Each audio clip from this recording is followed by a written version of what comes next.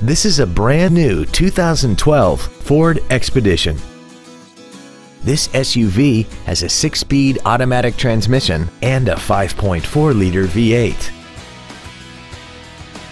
Its top features include a double wishbone independent front suspension, power adjustable driver pedals, traction control and stability control systems, commercial-free satellite radio, big 18-inch wheels, and a tire pressure monitoring system.